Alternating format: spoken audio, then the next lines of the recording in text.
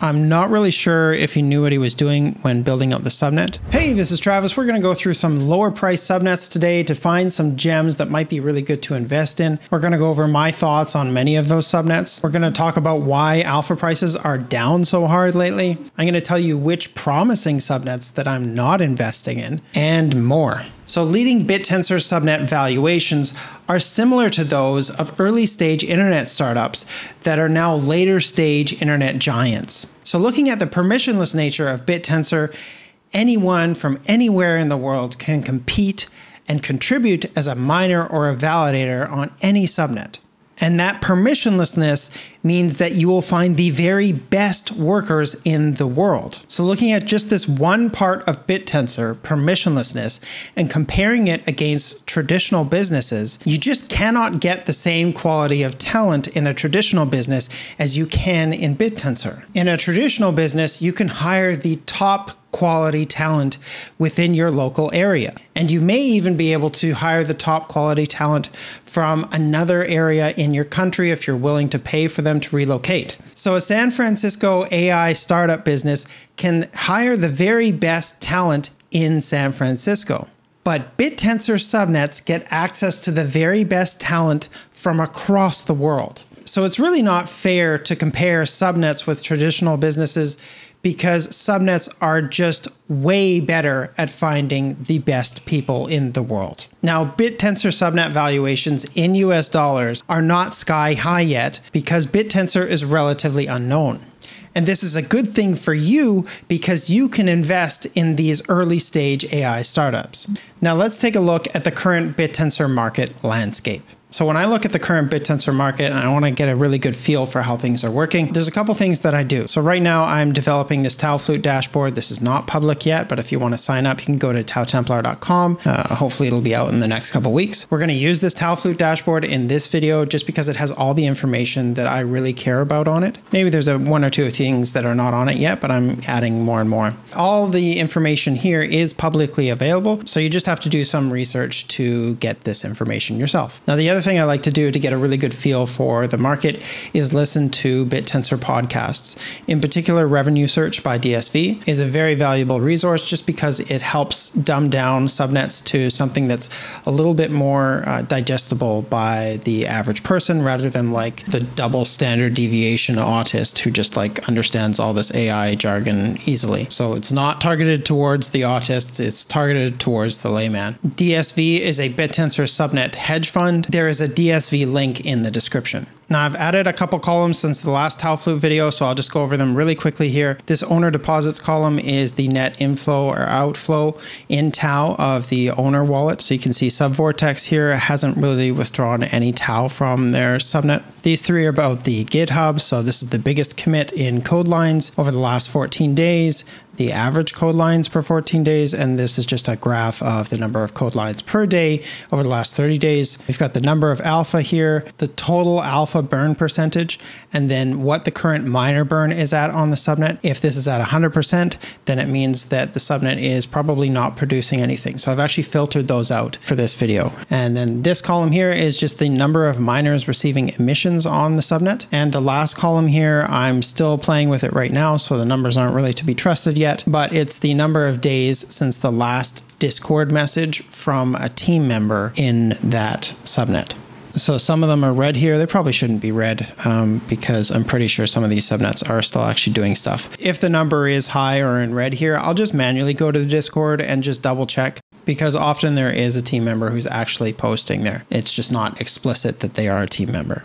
So myself, when I'm trying to look for a new subnet to invest in, I try not to invest in subnets that are over a price of 0.01. The reason for that is there's kind of a ceiling because the price of all of the subnets combined is going to be around one. That's one TAO. Sometimes it goes up higher. Uh, it was at two uh, many months ago, but we're getting closer and closer to one every day because the protocol pushes it towards one. It's going to be much more rare for these subnets in the top here to double double in price than it is for the lower price subnets here to double in price. Now, many of these top subnets are generating revenue, uh, and that justifies their higher price, but some of them are not. So, Affine is not, Templar is not, Ridges is not. So the reason for some of these subnets that are not generating revenue to have such a high valuation is other reasons. So Affine is by Const, one of the co-founders of BitTensor. So he's got a lot of credibility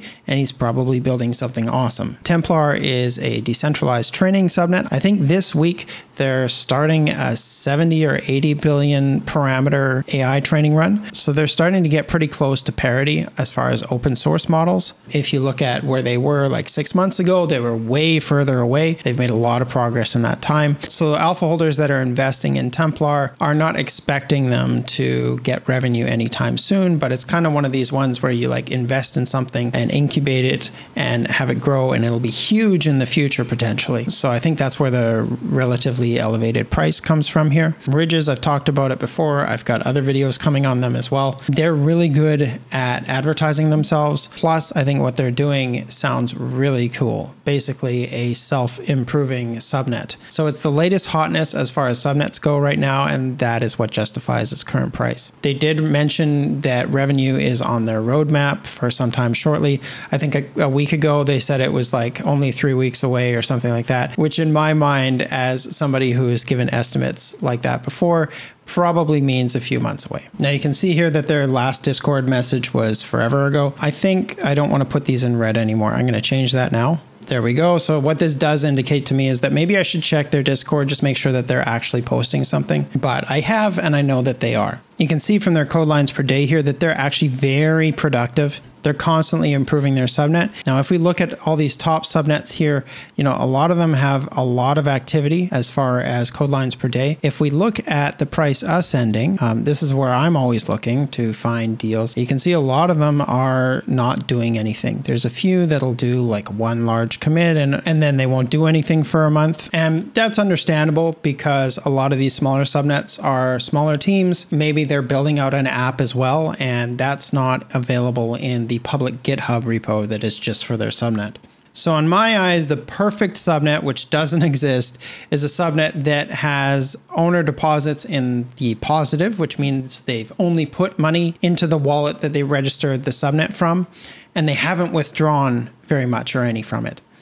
And then they've got a lot of code lines per day, preferably many commits throughout the last month, not just one large one. They've got a miner burn that is not at 100%, and they've got many miners on the subnet, and they're very active on Discord. Now, a couple columns that I'm eventually probably going to add here is their activity on Twitter. And then the main thing that I find myself doing is looking at the actual repo to just get a feel for what they're actually trying to build here. Because maybe all of these metrics I've talked about are looking good, but then you click in and see what they're actually doing with the subnet, and you're like, oh, I don't really get it.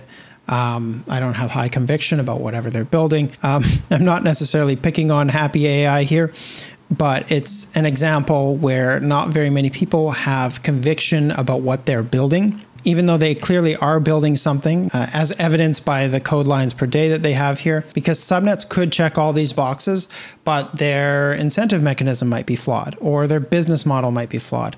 There's a bunch of things to take into account here. So I'm going to go through some of the lowest price subnets that I've researched.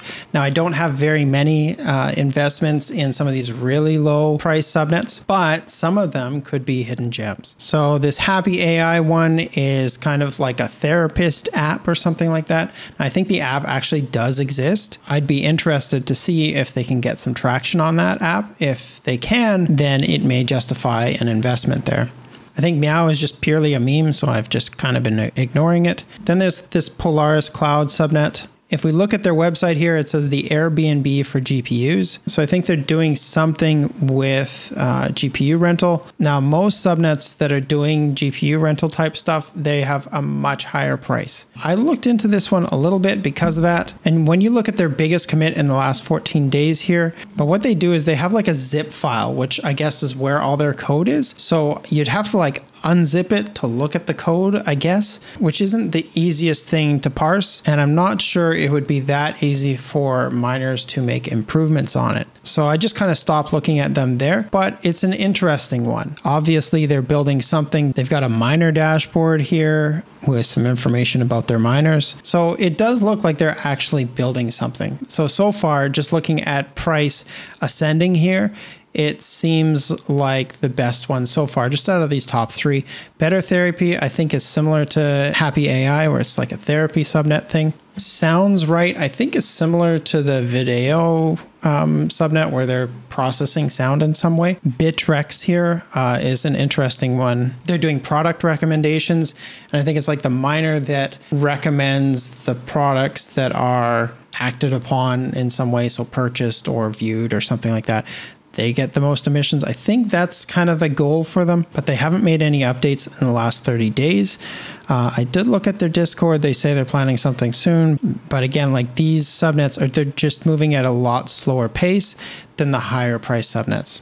Okay, so Eastworld, I think, is doing something with AI agents in like a 3D world or something like that. They haven't had very many updates lately, and there was a lot of hype about them originally. And you can see that their price has just slowly descended over time here. Now, all subnets prices have just slowly descended over time.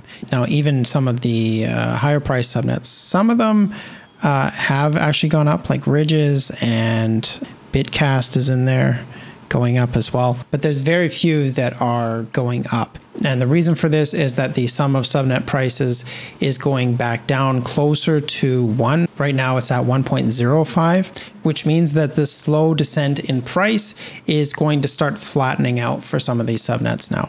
Now, FlameWire here is really special because it has an emoji in its name. I'm just kidding. They do something with RPC nodes and allowing people to access chain data. So so that could have revenue possibilities in the future. 111, I haven't looked too deeply at. It seems like they're a scraping subnet. If I check on the Discord here, uh, somebody says that they're building the product and it's taking longer than expected. Major updates coming soon, blah, blah, blah. Since we're in crypto, he should have written here, trust me, bro. Um, so I definitely don't have an investment in this one um, because I don't trust you, bro. But maybe they'll put out something soon here and that'll change things. Tiger Alpha is an interesting one here. Um, they've done one large update in the last month here. They gather treasury information, so verifiable on chain treasury data via decentralized AI. So they're just gathering treasury data somehow. I'm not really sure how that works or why it works. Um, but you could maybe spend some more time and do some research and gain some conviction about it. I don't know. This brain subnet here is by a guy called Fred Krueger. He's a big Bitcoin maxi. I'm not really sure if he knew what he was doing when building out the subnet. So looking at their repo here, it says a BitTensor subnet for automated verification on prediction market statements through distributed consensus. So there hasn't been any commits in the last month. And I think if this subnet does go up in price, you're going to be waiting a while for it, as I think it's going to take a while for the developer to get up to speed on how BitTensor works, just based on some of the videos I saw on Twitter with uh, Fred Krueger talking about BitTensor. Uh, he didn't really understand, I don't think, how BitTensor subnets are supposed to work and was kind of treating it like a meme coin, I guess. I'm not really sure how serious the development is on this subnet right now.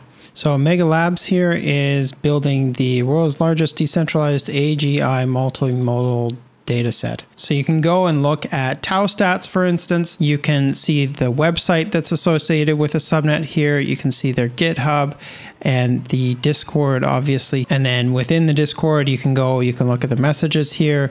You can find the pin messages here and read through what the team is saying. And then, of course, on top of that, you can look at Twitter activity. Twitter is starting to become the place where you can kind of see the trends on, like, okay, Ridges, for example, they've been on many podcasts recently, and many of those podcasts are going to show up on X. So I can give you a couple X tips here. The first is you should go and follow this guy here. But also, if you want to find what sort of hype there is for a particular subnet, if you go in the search here and you search for SN, and we were looking at subnet 24 recently, and I don't know too much about them. So you can do a hashtag or pound sign for those of us that are older and, and then search by latest. And then using this, you can kind of see what sort of hype there is for the subnet. And then often you can find the subnet owner here. So I'm assuming this is the subnet owner Uh, and then you can kind of scroll through their Twitter to see how active they are. So I guess this is the subnet owner for 21 and 24. And I, I see actually a lot of activity about 21, but I don't see very much about 24, which makes me wonder Let's take a look at 21, see what that one looks like. Okay, so this is their other subnet. They did have a massive commit on that subnet recently. And just scrolling through it here, you can see there's a lot of Python files. So they're writing a lot of Python code at the very least uh, without looking too deeply, which is great. So hopefully this has been helpful for you. If you want to get access to this dashboard here, you can go to taotemplar.com and sign up for when it becomes public.